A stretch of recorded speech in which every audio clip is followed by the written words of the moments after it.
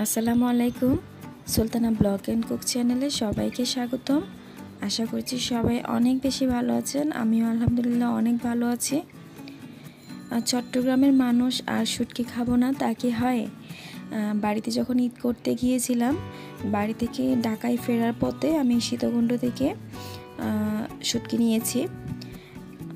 আমরা নর্মালি লুট্টে শুটকি, চিংড়ি শুটকি আর ঝুরি শুটকি এগুলো খাই। তো বাড়ি থেকে আসার সময় আমি চিংড়ি শুটকি আর লইট্টে শুটকি নিয়েছিলাম। তো শুটকি শুধু নিয়ে আসলে হবে না, এটা ভালোভাবে সংরক্ষণ করে রাখতে হবে। না হয় কিছুদিন পরে এটা ঘ্রাণ হয়ে যাবে। তো এই জন্য শুটকিগুলো ফার্স্টে আমি ঢেলে নিলাম, এখানে প্রায় এক কেজি শুটকি। শুটকিগুলো অনেক ভালো হয়েছে আমার শুটকিগুলো। একটু বড় সাইজের থেকে নিয়েছি, আমার হাজব্যান্ড নিয়েছিল বাজারে নেমে শীতকুণ্ড বাজার থেকে। শুটকিগুলো অনেক ভালো হয়েছে। তো এখন এগুলো আমার বাসায় যে আপাটা কাজ করে, সে আমাকে সব কেটে দিচ্ছে। তাকেও আমি কিছু শুটকি দিয়েছি রান্না করার জন্য। শুটকিগুলো আমি ছোটো ছোটো করে কেটে নিচ্ছি। আর চিংড়ি শুটকি কেটে রাখতে হবে না, এটা যেভাবে আনছি এনেছি আমি, ওইভাবেই রেখে দিব। আর হচ্ছে লইটে শুটকিগুলো এভাবে রাখলে রান্নার সময় যদি আবার প্রত্যেকবার রান্নার সময় যদি কাটতে যাই, সময়টাও নষ্ট হয় আর ঝামেলা মনে হয় আর মানে শুটকিগুলো ভালো থাকে না। তো এই জন্য সবগুলো এক, একবারে কেটে নিলে রান্নার সময় অনেকটা সহজ হয়, অনেক সময় বেঁচে যায়। এই জন্য আমি আপার দিয়ে সবগুলো ভালোভাবে কেটে নিচ্ছি।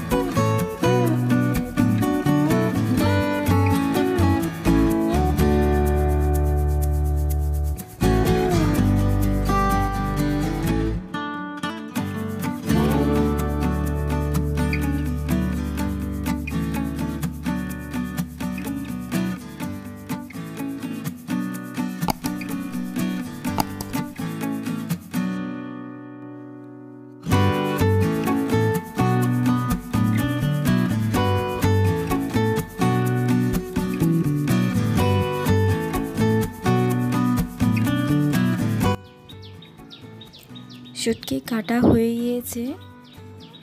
এগুলো হচ্ছে চিংড়ি শুটকি। চিংড়ি শুটকিগুলো আমি একটি পলিতেনে নিয়ে নিয়েছি। এগুলো এখন কেটে রাখতে হবে না। আর চিংড়ি শুটকিগুলো কিন্তু অনেক ফ্রেশ আছে। আর লইট্টে শুটকিগুলো আমি একটা পলিথিনে নিয়ে নিচ্ছি।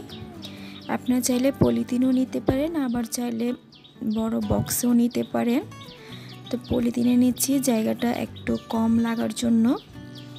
আমি এখন এগুলো ভালোভাবে পলিথিনে নিয়ে এরপর আমি ডিপ ফ্রিজে রেখে দিব।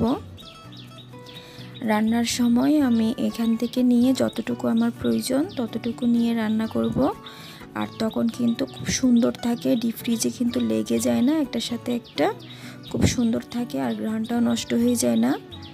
আমরা যদি এটা বারবার শুকাতে দিয়ে বারবার যদি এটা শুকাতে যায় তাহলে কিন্তু এটা স্বাদটা চলে যায় আর নিচে রাখলে এটা অনেক দিন থাকার পরে একটা নষ্ট হয়ে যায়। তো এই জন্য আমি ডিপ ফ্রিজে রেখে দিব। যারা রেগুলার শুটকি খান রেগুলার শুটকি কিনেন, তারা এভাবে শুটকি সংরক্ষণ করতে পারেন। তো আশা করছি আপনাদের কাছে অনেক ভালো লেগেছে। ভালো লাগলে অবশ্যই আমার চ্যানেলটি সাবস্ক্রাইব করবেন আর পাশে থাকা ছোট্ট বেল আইকনটি ক্লিক করবেন। আজকে তাহলে এই পর্যন্ত, আল্লাহ হাফেজ।